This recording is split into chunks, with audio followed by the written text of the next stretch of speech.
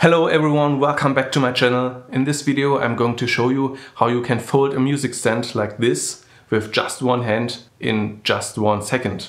Now if you are a musician or playing in a worship team or even being a tech guy or serving in church, there's a good chance you've come across one of these. It's not the modern simple music stand, but they actually fold. And a lot of people get that confused and I've seen dozens of these stands basically destroyed or completely messed up because people don't know how to correctly fold them. So in this video I'm going to first show you how they are folded and then one tip how you can do that with one hand basically in one second. So the way these work is they have these inner arms and they have the outer arms. And the concept is simply to fold the inner arms to the downside and the upper arms to the outside.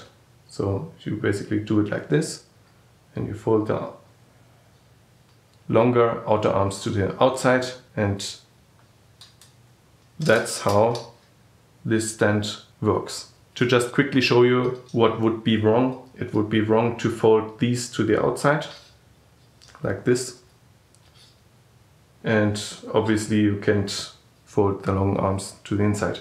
Now to do it with just one hand very quickly, the fail-safe way is grab both inner arms with your hand like this and pull together like this.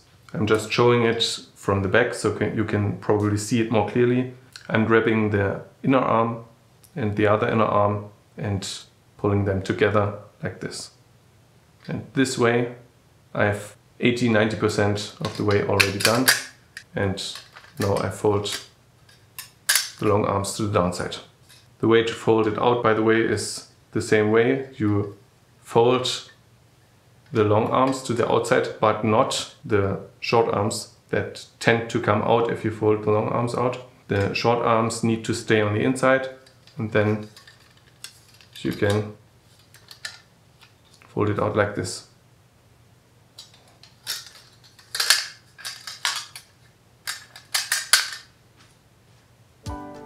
So maybe this is not exactly one second, but it's coming pretty close actually. It's a very short way to just grab it with one hand and there you go. And that's already it. I hope this was helpful for you. See you in the next video. Bye.